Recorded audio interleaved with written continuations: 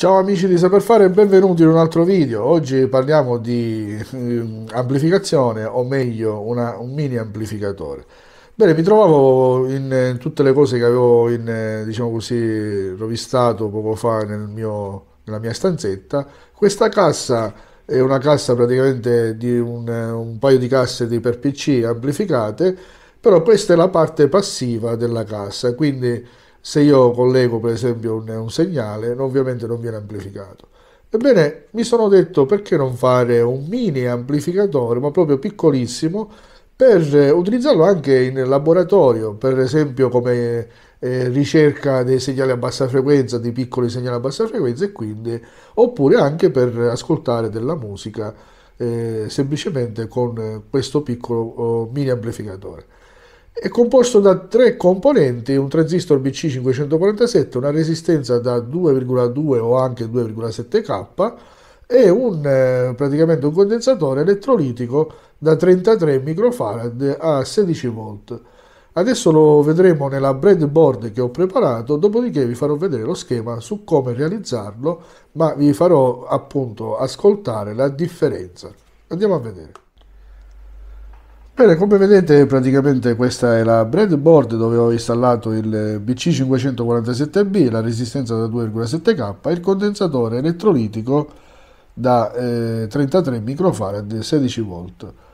Quindi eh, a questo punto poi ho collegato il positivo dell'altopallante al positivo di alimentazione della batteria, sto utilizzando una batteria a 9 volt, il segnale in uscita della, della radiolina che arriva direttamente all'ingresso del condensatore, la massa ovviamente collegata all'emettitore del, del transistor e adesso vi faccio ascoltare le due differenze tra il segnale normale preso dall'uscita della, della radiolina sentite il rumore? e questo è il segnale preso invece direttamente dall'uscita dal collettore del transistor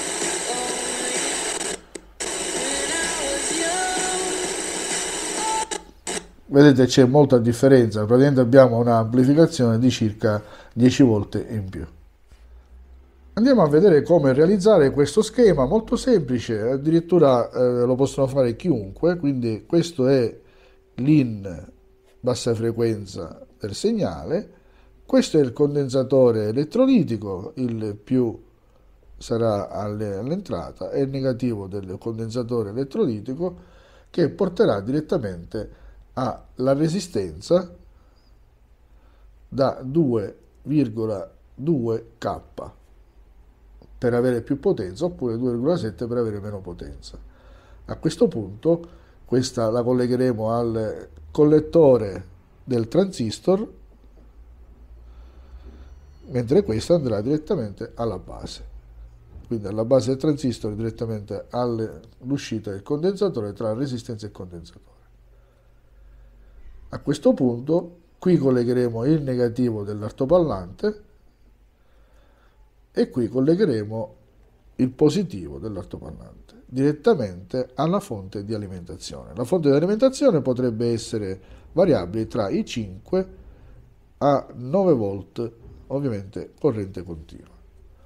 Mentre l'emettitore del nostro oh, transistor andrà direttamente a massa quindi faremo una massa comune sia per il segnale di bassa frequenza sia per l'alimentazione. Questo è lo schema di realizzazione molto semplice da realizzare. In due minuti abbiamo finito tutto quanto.